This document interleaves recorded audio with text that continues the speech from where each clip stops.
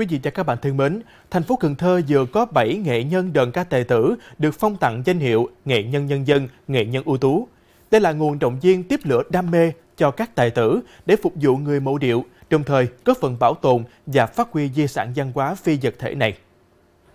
Được Chủ tịch nước phong tặng danh hiệu là niềm vinh dự của các nghệ nhân, cũng là niềm phấn khởi của người mẫu điệu đơn ca tài tử Cần Thơ nói chung. Đặc biệt, lần đầu tiên trong bộ môn đơn ca tài tử của thành phố, có nghệ nhân được phong tặng nghệ nhân nhân dân, đó là nghệ nhân nhân dân Trường Úc. Trong cái tất bật của những ngày năm hết Tết đến, các nghệ nhân nói chung đều có những dự định kế hoạch cho riêng mình. Đặc biệt cho ngọn lửa đơn ca tài tử lan tỏa sâu sắc hơn nữa trong cộng đồng. Sắp tới nữa thì Trường Úc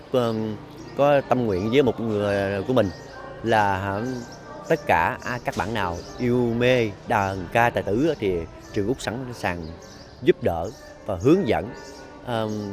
Không lấy công à, nếu không có gì thay đổi thì sẽ ra một cái tập một cái tập bài ca viết lời mới của 20 bài bản tổ đàn ca tử. Rồi với một số cái cái bài bản mà trong cái cái, cái hệ thống bản đàn của đàn ca tử đó để mình à, gửi tặng cho mấy câu lạc bộ à, các cái câu lạc bộ mà sinh hoạt đang sinh hoạt ở phường xã quận huyện của thành phố Cần Thơ. Hướng dẫn lại các à, thành viên trong câu lạc bộ rồi hợp tác với cộng tác với các trung tâm văn hóa làm những cái chương trình thi ở cho Cần Thơ. Rồi Tết thì tôi cũng có nhận một vài chỗ mình đi phục vụ. À, thế là nó cũng không không phải là hoành tráng nhưng mà đó là cái điều mà rất là vui khi mà Tết mình được à, đi đây đi đó rồi mình phục vụ cho bà con nghe những cái lời ca tiếng hát những cái bài bản tài tử. Đúng với cái chức tài tử các nghệ nhân có những công việc riêng như buôn bán mở quán ăn uống hớt tóc dân dân để nuôi niềm đam mê đờn ca của mình